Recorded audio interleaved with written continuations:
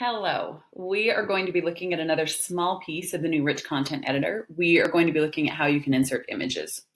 So our image button that's here on the far right side of the new Rich Content Editor, if I click the down arrow next to it, I get a few different options. Let's look at upload images first. When I click on this, I can either upload an image from my computer either by clicking and dragging something or actually clicking on this area and pulling up a finder window. I can go to Unsplash, which is royalty free photos. So if I just needed a quick stock photo, um, then I could search here for it.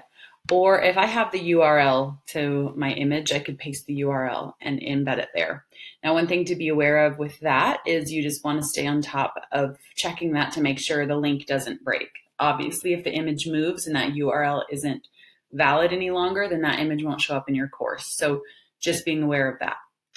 Now, if I go back here, there's also course images and user images.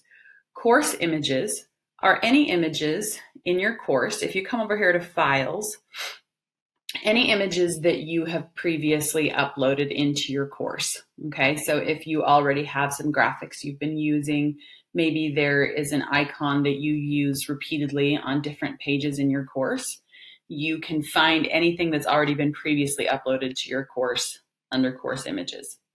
There's also user images. Now, user images would be, I'm going to go over here to my account. When I click on account, if you notice I have a files option here, user images are images that are associated with my profile, so I'd have access to them in any course.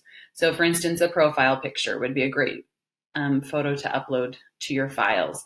Um, maybe banners that you would use repeatedly in multiple courses, um, anything like that. So, um, so here again, upload image would be if you're wanting to upload a brand new image that you've never put in the course.